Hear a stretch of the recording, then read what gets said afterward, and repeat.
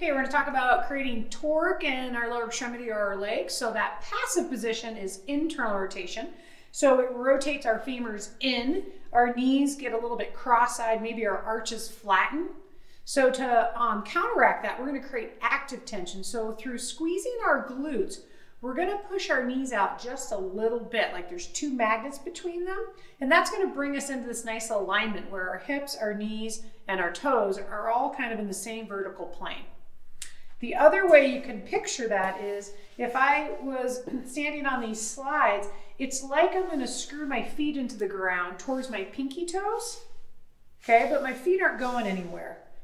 So my feet are planted and I'm gonna screw those in, screw those feet in towards my pinky toes, and that does the same alignment thing.